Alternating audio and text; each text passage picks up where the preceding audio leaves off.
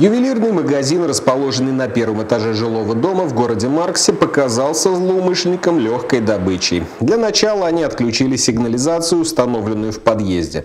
Но проникнуть в помещение им так и не удалось. Лотки с ювелирными изделиями остались нетронутыми. При попытке открытия двери сработала вторая сигнализация, о которой взломщики не знали. Хозяйка магазина, не скрывая эмоций, делится своим опытом. Никогда не экономить э, на сигнализации, все убирать в сейф. Сейфы должны быть плотно прикручены к полу, чтобы их не могли вытащить. Сигнализация должна быть везде, на окнах, на решетках, на дверях, везде. Так что, ребята, не экономьте на себе, дороже будет. А это уже кадр задержания троих злоумышленников. Оперативники отдела по борьбе с организованной преступностью при содействии сотрудников ГИБДД и Росгвардии перехватили автомобиль с подозреваемыми в Саратове. Я благодарю всех, кто принимал участие при задержании. Наша полиция хорошо сработала.